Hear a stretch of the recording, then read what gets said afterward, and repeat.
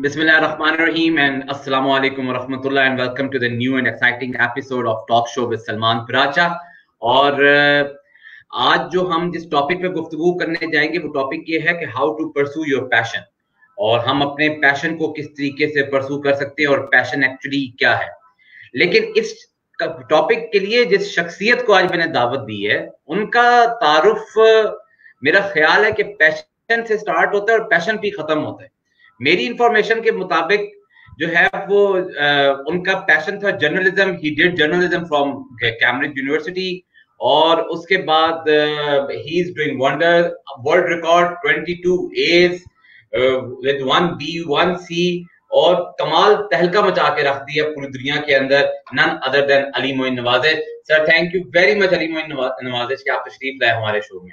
नहीं नहीं it's an absolute pleasure thank you for having me और वो you're too kind with the introduction आपकी ये बिल्कुल नवाजिश है आपका करम है लेकिन uh, ऐसी भी कोई बात नहीं और हम लगे रहते हैं काम में।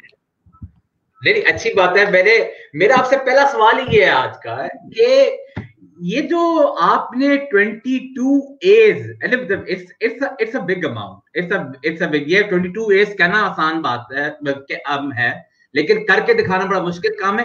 वैसे कुछ seriously you were passionate about having 22 A's या क्या ये पूरा जर्नी कैसे हुआ? I think the issue primarily जो था हैज़ बीन कि it's so on on the one hand के it's passion yes but I think motivation बड़ी इंपॉर्टेंट होती है। सो so, मैं इनको सेपरेट करता हूँ कि मोटिवेशन एक चीज़ है पैशन दूसरी चीज़ है एंड आई थिंक दोनों आपको चाहिए होती हैं। Because your passion is that you passionate about something आपका बड़ा दिल करता है वो काम करने का। बट किसी गोल की तरफ़ आपने अपने आप को मोटिवेट करना, उस पैशन को शेप देना, उस पैशन को कन्वर्ट करना इनटू टैंजेबल्स और उसके लिए मोटिवेटेड रहना आई थिंक ज़्यादा बड़ी चीज़ है। सो फॉर मी मैं I was never a good student और हुआ यही कि बस जब पढ़ना शुरू किया तो I wanted to see how far it can go and उसी में फिर आड़ में आके सब्जेक्ट ज़्यादा ले लिए और अल्लाह का फिर बड़ा करम रहा कि अल्लाह ने बड़ी इज़्ज़त अच्छा अच्छा अच्छा ये बताइएगा कि अब हम जब भी बाजुकात ओ एंड ए लेवल्स के बारे में सुनते हैं तो हम हमेशा यही सोचते हैं और यही हमारी समझ में आता है कि यार ओ एंड ए लेवल्स एक बड़ी ही टफ स्टडीज़ है। You were you are more focused to an English language obviously क्योंकि पूरा कैमरेज इसके पेपर ले रहा है। और हम्म। फिर आपको इस पे ज़्यादा मेहनत करनी पड़ रही होती है और फिर आपकी स्कूलिंग और ये सारा कुछ बड़ा मैटर कर रहा होता है।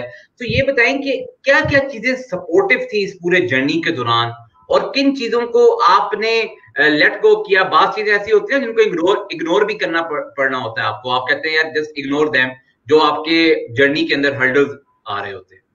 हाँ नहीं आपने बड़ा अच्छा सवाल किया। दरअसल डिफिकल्टी तो मेरे ख्याल है किसी चीज़ की उस तरह नहीं होती, अगर आप किसी चीज़ को कहें कि बहुत डिफ़िकल्ट है, उसे सर पे सवार कर लें तो वो एक इम्पेडिमेंट हो जाता है। तो हमेशा आई ऑलवेज बिलीव्ड के इतने किसी भी चीज़ को सर पे सवार नहीं करना चाहिए। सेकेंडली हर्डल्स बड़ा इंपॉर्टेंट होता है और सैक्रिफाइसेस कोई भी गोल मेरा ख्याल है या कोई भी मकसद पूरा करने के लिए आपको एक तो उन चीज़ों की कुर्बानी देनी पड़ती है वक्त के लिहाज से कि अगर आप सोशलाइज बहुत करते हैं, या अगर आपके और पैशन हैं, आपके और हॉबीज हैं, या आपकी और एंटरटेनमेंट है तो आप अपने गोल को फ्रंट एंड सेंटर रखते हैं और बाकी सब चीज़ों को सेकेंडरी कहते हैं। दूसरा उसमें यह है कि ऑब्वियसली हर्डल्स आते हैं कि कभी आप का दिल नहीं कर रहा होता पढ़ने का, कभी आप मोटिवेटेड नहीं होते, या कोई भी और गोल हो, आपका काम करने का दिल नहीं कर रहा होता, या फिर आप ये सोचते हैं कि मैं ये क्यों कर रहा हूँ, वो एग्जिस्टेंशियल क्वेश्चंस आ जाते हैं दरमियान में। तो उनको उनके ऊपर काबू पाना is sometimes not easy it's it's it's a tricky thing to do और असेंशली uh, uh, मुझे लगता है कि वो uh, एक मेंटल गेम होती है। और ऑब्वियसली अगर आप अपने आप को मेंटली स्टेबल रख सकें गोल की तरफ़ मोटिवेटेड रख सकें सैक्रिफाइस करने का आपके अंदर पोटेंशियल हो एबिलिटी uh, हो और उसके साथ साथ आप डिसिप्लिन uh, हो डिसिप्लिन बड़ा ज़रूरी है वर्क एथिक हो आपका। तो फिर डिफिकल्टीज तो खत्म हो जाती हैं। But in terms of hurdles obviously वो डिपेंडिंग ऑन द हर्डल मुझे इस तरह की भी हर्डल्स होते थे कि टीचर सपोर्ट नहीं कर रहे स्टूडेंट सपोर्ट नहीं कर रहे फ्रेंड्स का क्रिटिसिज्म अपनी जगह होता था। तो you have to believe in yourself when no one else is believing in you so I think ये भी एक बड़ा इंपॉर्टेंट पार्ट होता है। अच्छा ये आ, मैंने सुना था कहीं किसी जगह पे ऑब्वियसली ये तो आप बताएँगे अब एक्चुअली क्या बात थी लेकिन मैंने कहीं पे ये पढ़ा लिखा आपके बारे में देखा कि you are very passionate since at your school level कि you have to you are going to of journalism in your life career क्या ये बात सच है कि ये जर्नलिज्म में एक इत्तफाकिया आप एंटर हुए हैं? नहीं तो इसमें इंटरेस्टिंग बात है मेरा जर्नलिज्म का इस तरह एक शौक था कि मैं एक वो, बचपन में हम टीवी शोज़ देखते थे, मैं सातवीं, आठवीं, या नौवीं जमात में था तो एक वो स्मॉल विल टीवी शो आता था तो वो सुपरमैन का उन्होंने बचपन दिखाया हुआ था तो सुपरमैन वाज आल्सो ये लोगों को शायद पता ना हो कि सुपरमैन भी एक सहाफी था, वो दिन के वक्त जर्नलिज्म करता था रिपोर्टर था डेली प्लानट के लिए तो तो वो सुपरमैन का वो दिखाया हुआ था तो शो में वो उसकी वो स्कूल में था और उसकी एक दोस्त थी वो जर्नलिस्ट थी और वो एक स्कूल पेपर निकालते थे द टॉर्च तो मैं इतना इंस्पायर हुआ उससे कि मैंने अपने स्कूल के अंदर न्यूज़पेपर स्टार्ट कराया। मैंने उसके स्कूल के अंदर जो है वो आ, हमने जर्नलिज्म किया। फिर खैर कंप्यूटर साइंस में गया। लेकिन जब ए लेवल्स का हुआ और इतना एक्सपोजर हुआ मीडिया से ये तो फिर मैंने ये फैसला किया कि नहीं this is what I want to do और फिर वो जो पैशन शायद थोड़ा सा दब गया था वो रीइग्नाइट हुआ और फिर प्रोफेशन इसी को अपना लिया।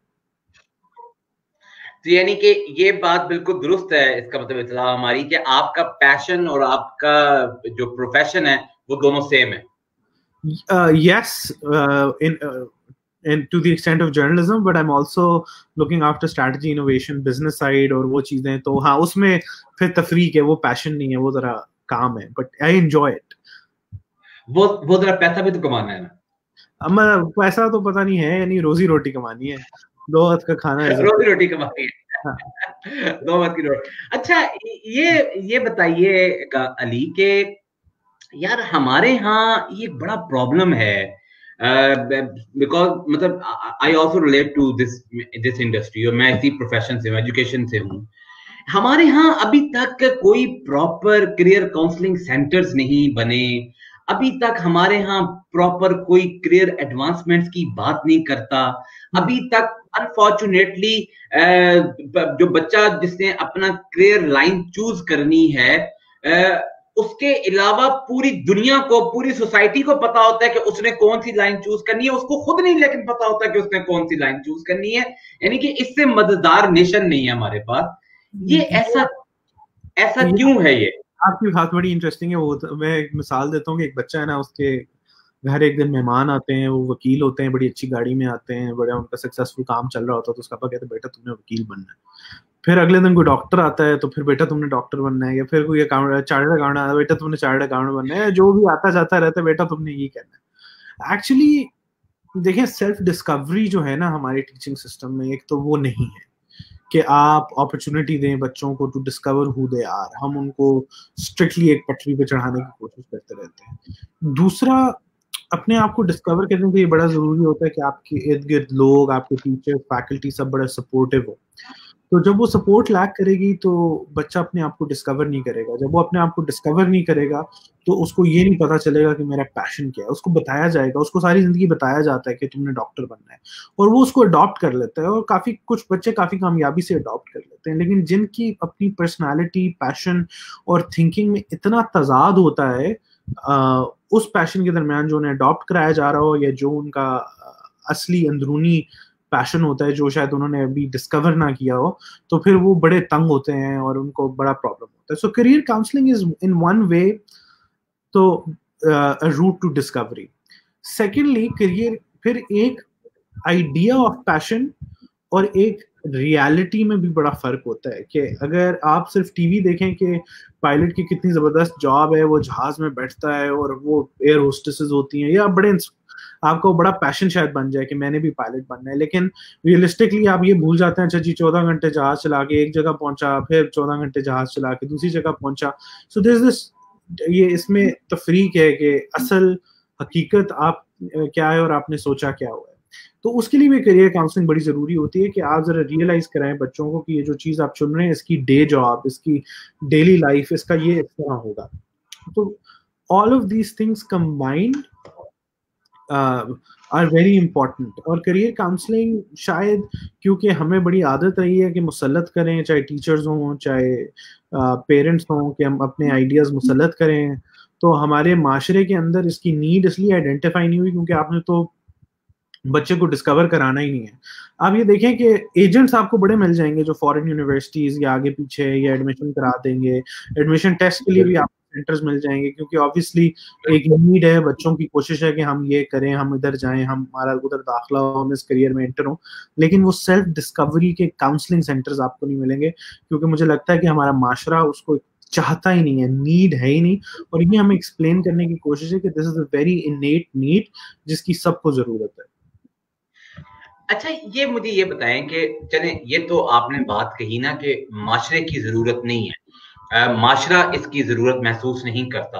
लेकिन क्या किसी पब्लिक प्राइवेट इंस्टीट्यूशन ने ये कोशिश नहीं की कि why don't we let impose something like this to the whole nation और टू द होल सोसाइटी वरना पाकिस्तान में तो ऐसे ही काम होता है ना कि आप, अगर आप किसी काम को नहीं चाहते आप लोग लॉकडाउन नहीं चाहते, लेकिन लॉकडाउन करके हमने किया ना आखिरकार तो हमने एक एक फोर्सफुली काम कराया। हमने इस काम को फोर्सफुली क्यों ना कराया? क्योंकि मैं सिर्फ़ दो आपसे बात शेयर कर लू कि लाइक जैसे रशिया है रशिया में और जापान में अगर आपको पता हो कि पाँच साल की एज में दे डिसाइड यानी जब बच्चे जिस स्कूल में कदम रखता है उस दिन वो डिसाइड कर लेते हैं कि बच्चे का एप्टीट्यूड लेवल क्या है। But why this is not so in Pakistan okay so ये uh, मैं आपकी आखिरी बात से डिसएग्री करूँगा। दिस इज़ नॉट रियली ये बाहर तो अब ये ट्रेंड ही खत्म किया जा रहा है कि एप्टीट्यूड बच्चे का डिसाइड करें या बच्चे की एबिलिटी के ऊपर आप कुछ कहें। अब तो ये है कि मेरा ख्याल है वो कहते हैं कि हर बच्चा इक्वल है, हर बच्चे के अंदर एबिलिटी है, हर बच्चा अपना पैशन प्रसू कर सकता है। तो ये थिंकिंग चेंज हो रही है। दूसरी बात ये कि देखें मुसलत करने की बात जो आपने की लॉकडाउन हमने किस क्वालिटी का मुसलत किया?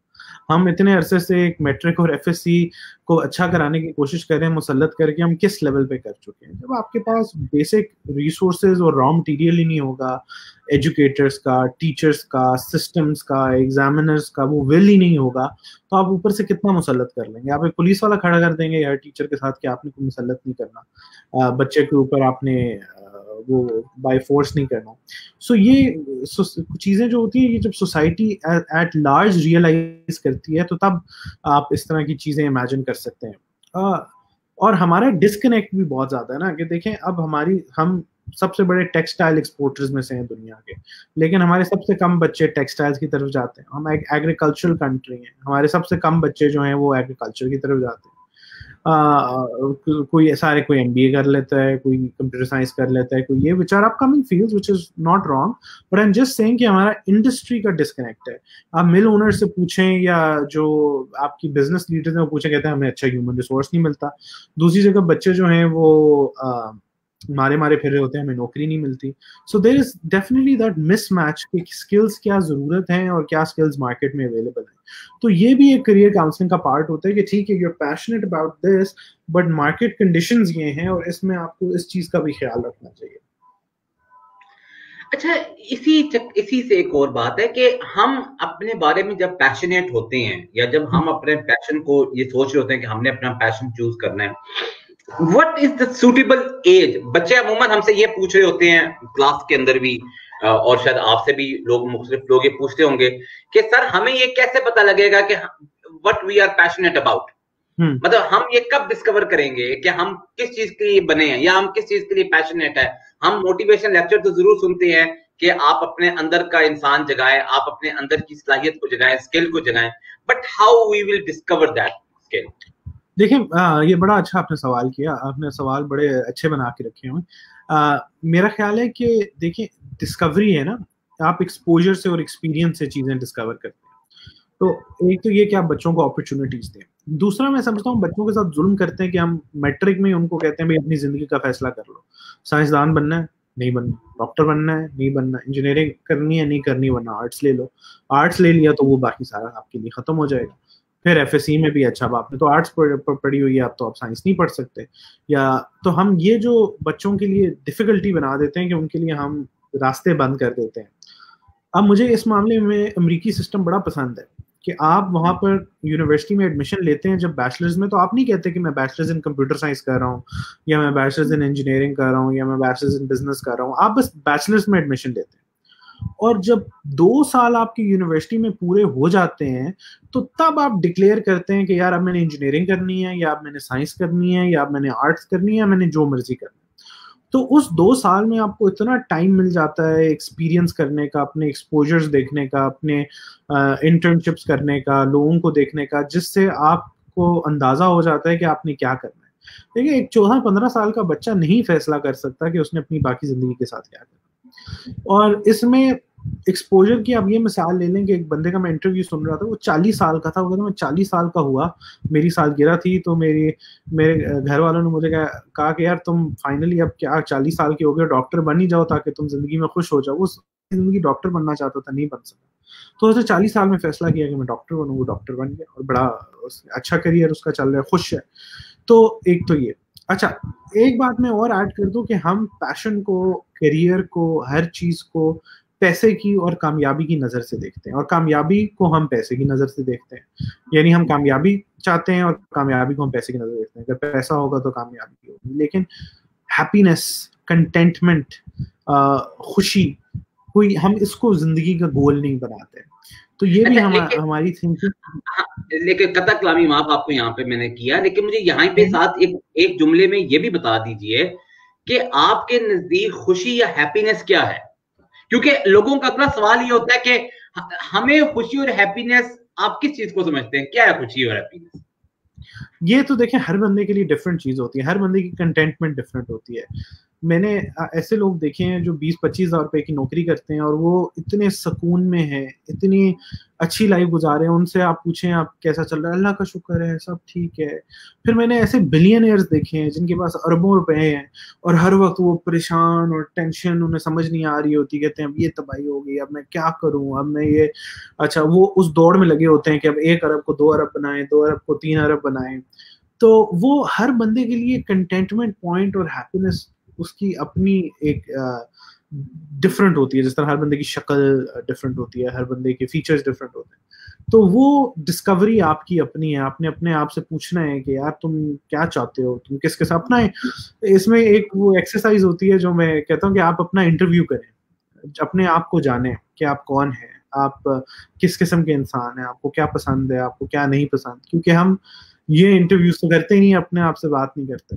तो अपने आप से बात करें अपने आप को जाने तभी आपको आइडिया होगा कि आप पैशनेट किस चीज़ के बारे में आप करियर कौन सा आ, सोचना चाहते हैं और अपनी राय को गाइड करें लोगों की राय के साथ लेकिन उसको अपने ऊपर मुसलत ना करें।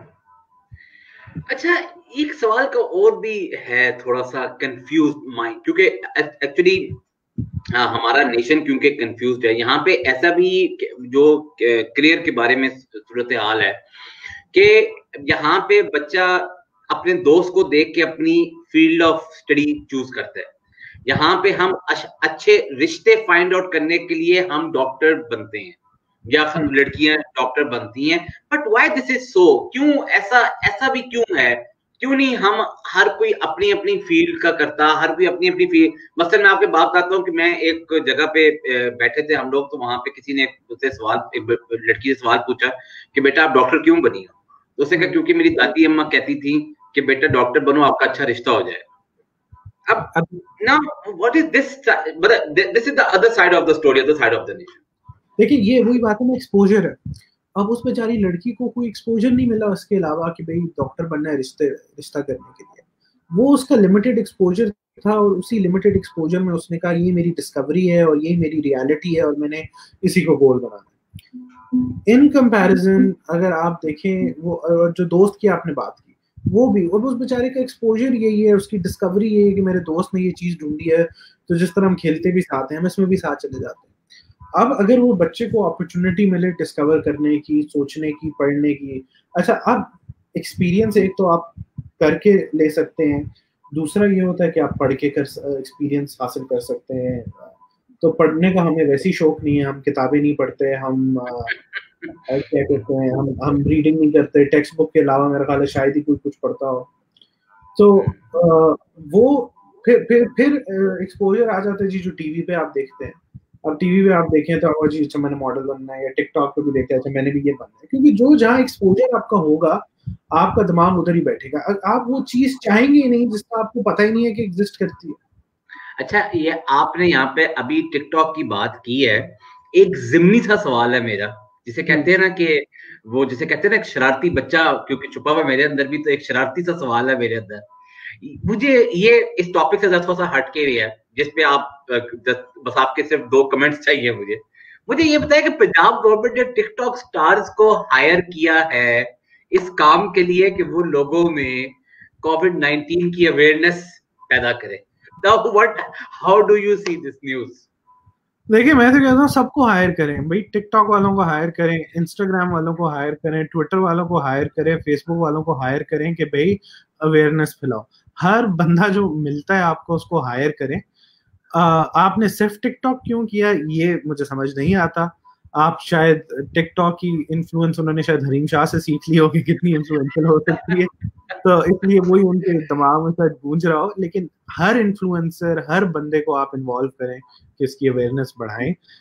ये बड़ा मतलब मैं मज़ाक इसका अपनी जगह उड़ाऊं लेकिन एटलीस्ट अगर जो टिकटॉक वाले हैं टिकटॉक वालों से कुछ सीख लें तो कोई इतनी बुरी बात नहीं है लेकिन हाँ। बाकियों को भी सिखाएँ बाकियों को।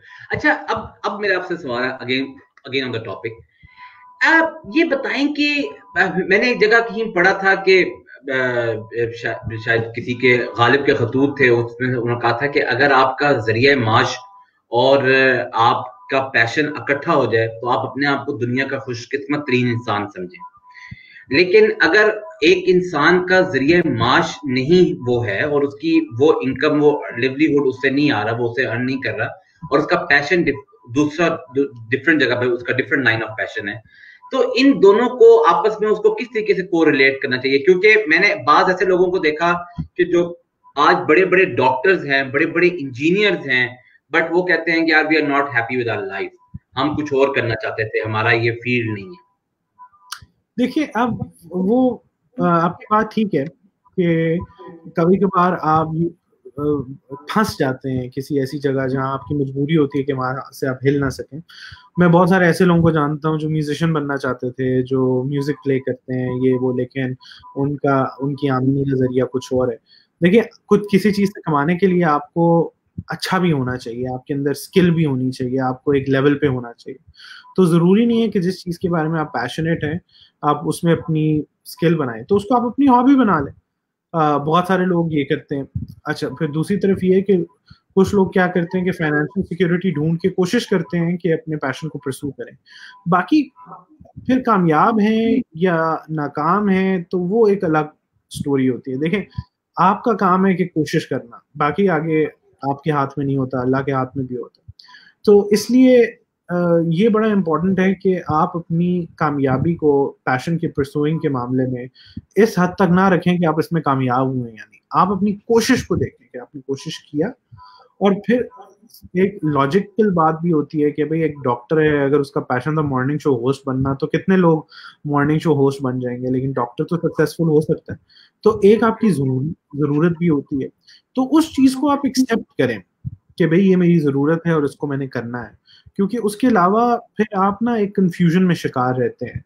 आप जो, वो सबसे बुरा झूठ वो होता है जो आप अपने आप से बोलते हैं। अगर आप अपने आप से ही झूठ बोलेंगे यार मैं, ये तो मुझे पसंद ही नहीं है, मेरा करियर ही नहीं। देखें, अगर आप एक काम कर रहे हैं, उसमें आप कामयाब हैं तो वो आपका करियर है। और उसको एक्सेप्ट करें, उसको ओन करें। अगर आप साथ दूसरा करियर बनाना चाहते हैं बिल्कुल उसको बनाएँ। आपका ज़्यादा पैशन या आपका रुझान उस तरफ़ है, आप वो करें। लेकिन ये जो हम अपने आप से झूठ बोलते हैं ना, कि फ्रॉम द सिंपलेस्ट कि भाई ये तो एग्ज़ाम आउट ऑफ़ कोर्स आ गया से लेकर ऑल द वे टू के भाई ये तो मेरा काम ही नहीं है, मैं तो ये फंस गया, ये वो, आप अपने आप को वो करते हैं। आप बी वेरी क्लियर कि आप ज़िंदगी में जो भी कर रहे हैं, उसकी जगह जाने, उसकी अहमियत पे जाने और उसको अपनी ज़िंदगी में फिट करें, क्योंकि आपकी ज़िंदगी में सिर्फ़ पैशन नहीं हो सकता। आपकी ज़िंदगी के अंदर और भी बहुत सारी चीज़ें, वो कहते हैं ना sometimes there are things you have to do so you can do the things that you want to do you want to do yeah. तो उसकी अमलगमेशन होती है ज़िंदगी। मतलब आपको अगर एक्सरसाइज करनी है या आपको दिन में वॉशरूम जाना है I don't think people want to do it want to waste time अगर आपने 10 घंटे सोना है अगर लोगों के पास ऑप्शन हो तो ना सोए but we have to do those things तो इसी तरह ज़िंदगी में भी बहुत सारी ऐसी चीज़ें होती हैं जो you have to do and you have to accept it and be happy with it कि I am doing the right thing because this is something that I have to do अच्छा ये बताइएगा कि आपने बाहर भी यूनिवर्सिटीज में पढ़े हैं और मैं उन लोगों के लिए सवाल पूछ रहा हूँ कि ज़ाहिर बात है जो जो ये ड्रीम तो ज़रूर करते हैं बाहर पढ़ने की, लेकिन फिर शायद वो बाहर की जब बात सुनते हैं या बातें ये सुनते हैं कि जी वहाँ पे बड़ी मेहनत करनी पड़ती है, वहाँ पे बड़ी और जॉब्स करनी पड़ती हैं दिस एंड दैट सो आप ये बताइएगा कि एक तो एक तो ये बताएँ कि बाहर का क्या लाइफ एक्सपीरियंस था one thing and second question is कि बाहर की अब्रॉड यूनिवर्सिटीज जो हैं उनका और पाकिस्तानी यूनिवर्सिटीज का क्या कंपैरिजन है? ओके सो आपने बड़ा बहुत बड़ा सवाल पूछ लिया और टाइम हमारे पास कम है लेकिन पहले मैं इसको समअप करता हूँ। हाँ। देखिए एक तो ये कि मेरा एक्सपीरियंस हर बंदे का एक्सपीरियंस डिफरेंट होता है। आई मैं फॉर्चुनेट था कि मैंने मुझे स्कॉलरशिप मिली लेकिन और जॉब्स वाली जो आपने बात की वो भी बड़ी बिल्कुल ठीक है कि करनी पड़ती है। और इसमें आ, क्या कहते हैं देखें वहाँ हर बच्चा करता है चाहे कैम्ब्रिज में भी हो मेरे बहुत सारे कैम्ब्रिज के क्लास फेलोज थे जो मैकडोनल्ड्स में काम करते थे पढ़ने अपने आप को सपोर्ट करते थे तो इसमें कोई शर्म की बात नहीं है हमने यहाँ पाकिस्तान में इन चीज़ों को स्टिग्मा बना दिया। दूसरा एक तो ये कि यहाँ हम मुझे लगता है कि हम ना बड़े लाडले होते हैं हमारे माँ बाप हमारा सब कुछ करते हैं कपड़े इस्त्री होके आ जाते हैं कमरे की सफ़ाई भी हो जाती है आ, तो या नौकर कर देते हैं या अम्मी कर देती हैं या कुछ इस तरह का सिलसिला चलता रहता है। तो वहाँ जाके आपको सब कुछ खुद करना है तो एक तो ज़िम्मेदारी और रिस्पॉन्सिबिलिटी बड़ी इंपॉर्टेंट होती है। दूसरा एक्सपीरियंस के लिहाज से मैंने ये देखा कि वहाँ यूनिवर्सिटीज ओपन है वो चाहती हैं कि आप कामयाब हर टीचर कोशिश करना चाहता है प्रोफेशनल है, आपके साथ कोई ग्रज नहीं रखेंगे। बस ये नहीं कि मैंने कह दिया तो मैंने कह दिया, आपके साथ इंगेज करेंगे, आपकी ग्रोथ आपकी डिस्कवरी ये जो कल्चर है ना बड़ा इंपॉर्टेंट है इन्वायरमेंट का। मैं आपको एक मिसाल देता हूँ कि यहाँ पर रैगिंग का हमारा एक कल्चर है कि यूनिवर्सिटी पहले दिन बैठा जाता जी उसको सुथरा करो रैगिंग करो। तो मैं भी ये माइंड सेट लेके कैम्ब्रिज गया था तो मैं जब वहाँ मैं रात को लेट पहुँचा तो कोई भी नहीं था, मैं कमरे में चला गया। मैं सुबह उठा तो बस नाश्ते के लिए कुछ सोच रहा था। पहली रात थी मेरी हॉस्टल में अकेले ज़िंदगी में तो वो नॉक हुई दरवाजे पे ठक ठक ठक ठक। उन्होंने कहा कि जी खोले हम आपके सीनियर्स हैं। अच्छा मैं, चूँकि जी वो पाकिस्तान और उससे आए मैंने कहा तो सख्ती आ गई बंदा क्या करे भागे क्या करे? था भी मैं सेकंड फ्लोर पे तो मैंने कहा चले अब देखते हैं जो ओसी से ओसी। तो दरवाज़ा खोला तो वो आगे मैंने कहते हैं आई एम सो सॉरी आप रात को लेट आए। हमें पता नहीं था आप लेट आएँगे, वरना हमने यहाँ हम बैठे होते हैं हर रोज जब नए स्टूडेंट्स आ रहे होते हैं तो वो अंदर आए, उन्होंने मुझे, क्या कहते हैं, मेरे लिए खाना लाए हुए थे, उन्होंने मेरा सामान अनपैक कराया, उन्होंने पूरा सेट कराया, उन्होंने कहा, किसी चीज़ की ज़रूरत, मुझे फिर ले गए, दिखाया कि ये इधर ये है, इधर कैफ़े है, इधर ये है, वो तो वो जो माइंडसेट है ना कि भाई everyone wants you to be successful. Everyone wants to be a family. Uh, teacher जो हैं thoroughly professional. यहाँ ये जो ऑनलाइन एग्ज़ाम्स और ऑनलाइन क्लासेस और ये सारे माजरे आजकल चल रहे हैं उस पर आप स्टूडेंट्स का फीडबैक देख लें। अगर इस तरह का फीडबैक किसी यूनिवर्सिटी में आ जाता तो मैं तो खैर बाहर तो इट वाज इम्पॉसिबल कि वो जिद पे अटक जाएँगे हमने यही करना है और हमने ये करना है। तो रियली वैल्यू स्टूडेंट्स यहाँ पर तो अपना विल मुसलत करना उनको डिफीट करना उनको पीसना जहाँ तक मुझे लगता है I could be wrong and there always exception but ये फंडामेंटल मैंने डिफरेंस फील ज़रूर की है कि क्रिएटिविटी फ्रीडम और सपोर्ट और वहाँ सपोर्ट बहुत ज़्यादा है कि अगर आप स्ट्रगल कर रहे हैं तो आपका प्रोफेसर आपका teacher will go out of their way to make sure कि आप आगे निकल सकें, आगे काम कर सकें। It's not going to be like कि आप ना लाइक है तो लाइक पढ़ते नहीं है तो लोग है ये तो ये है, ये तो वो है। अब यूएस में मैं आपको मिसाल देता हूँ। अब एक आ, हमारा क्लास फेलो था जब मैं मास्टर्स कर रहा था तो वो बहुत उसको ड्रिंकिंग का प्रॉब्लम था और वो बड़ी अजीब असाइनमेंट्स नहीं करता था बहुत ड्रिंक करता था जब हॉस्टल आ जाता था तो बड़ा बुरा। तो एक प्रोफेसर ने स्पेशली उसको आ, अपने घर ले गए उसको रखा एक हफ़्ते के भाई उसको समझाया काउंसलिंग की मेक श्योर sure किया कि वो ग्रेजुएट करता है। तो ये बड़ी बात होती है कि देखें कि अब अगर इधर होता तो वो तो लफंटर है, वो तो शराबी है, वो तो इस तरह के उसका फैमिली बैकग्राउंड ही है। फ्रॉम दैट टू उसको रखना, उसको समझाना मेक श्योर sure करना कि वो ठीक हो और जितना बंदा अपनी उसमें कर सके। तो ये चीज़ें मेरा ख्याल है बड़ी जो डिफरेंसेस है ना, वो मैंने एनवायरनमेंट की नोट की हैं और ओवरऑल चाहते हैं कि आप कामयाब अच्छा क्योंकि टाइम इज़ रनिंग शॉर्ट और बता, आपका वक्त भी बड़ा कीमती है। आखिरी सवाल जो मेरा है ना, वो आपसे ये है कि आप एक बच्चे को, जो एक रॉ बच्चा है, जिसका अभी जो उसने अपना करियर चूज़ करना है और जो अपनी भी फ़ील्ड ऑफ़ लाइफ चूज़ कर रहा है, आप उसको क्या गाइडलाइन क्या अपनी मेंटोरशिप में देंगे, ऐसी गाइडलाइन प्रोवाइड करेंगे कि वो अपने जो अपने पैशन या अपने करियर जो भी चूज़ कर रहे हैं लाइफ को या फ़ील्ड ऑफ़ स्टडी को वो उसके ऊपर बड़ा फर्म बिलीफ के साथ वो उसको चूज़ करें। So great question I think मैं उसे ये कहूँगा कि एक्सपीरियंसेस करो ज़्यादा से ज़्यादा। चाहे फ़िज़िकल हो चाहे पढ़ो चाहे इंटर्नशिप्स करो जाओ देखो बैंकर किस तरह काम कर रहे हैं जाओ देखो डॉक्टर क्या कर रहा है। और uh, मैं उसे सेकेंडली ये भी कहूँगा कि अपनी ऑप्शन ज़्यादा से ज़्यादा ओपन रखो। कोई अपने दरवाजे बंद ना करो। हम मुश्किल मुश्किल की वजह से दरवाजे बंद कर देते हैं। हम कहते हैं कि साइंस तो बड़ी मुश्किल है जैसे गोली मारो। और चार साल बाद हम सोच रहे हैं यार काश मैंने साइंस रख ली होती। तो अपने डोर ओपन रखो ओपन माइंड रखो एक्सपीरियंसेस करो और फिर डिसाइड करो डिस्कवर करो। ये देखें आप डिसाइड नहीं करते आप डिस्कवर करते हैं। एक दिन आपको होता है कि यार मैंने डिस्कवर कर लिया कि मैं ये काम करना चाहता हूँ और मैं खुश रहूँगा इसमें। और उसमें भी आप गलत हो सकते हैं। हो सकता है जिस तरह उस बंदे की मैंने मिसाल दी चालीस साल का होके उसने मेडिसिन की अब वो खुश है।